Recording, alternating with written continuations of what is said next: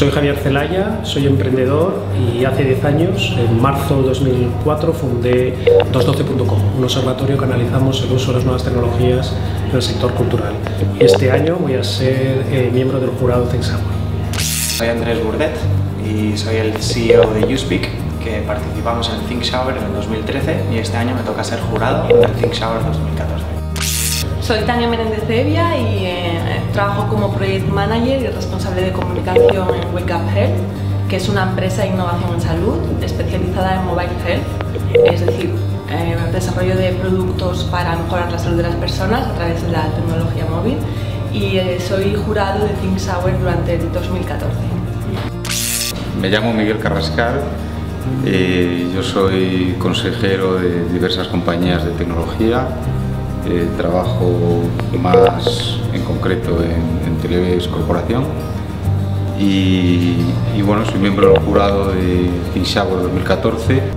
Hola, yo soy Pedro Feducci, soy arquitecto y diseñador, eh, soy el presidente de DIMAD, la Asociación de Diseñadores eh, de Madrid, que estamos en la central de diseño, en Matadero, y soy jurado de, este, de esta convocatoria del 14 de Think mi nombre es Ricardo Urias, eh, soy Brand General Manager en una empresa que se llama Abbas Media, eh, es una agencia de medios dentro del sector publicitario, la más importante de España.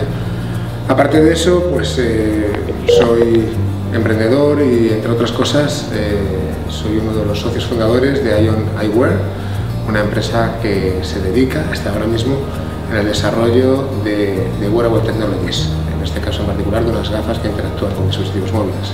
Bueno, aparte de eso, otra serie de cuestiones. Y tengo el privilegio y la satisfacción de ser jurado de ThinkSour 2014. ThinkSour es eh, una forma alternativa de pensar, eh, una manera de ver el mundo eh, de forma diferente, constructiva y alternativa. ThinkShower es un sitio donde puedes conocer tanto a tus futuros inversores como clientes, eh, como también a gente que puede ayudarte a transformar tu negocio.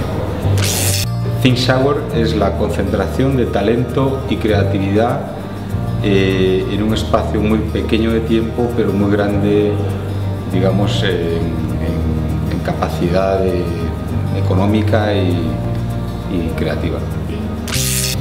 Yo diría conocimiento, gente interesante, mucha curiosidad y dinamismo.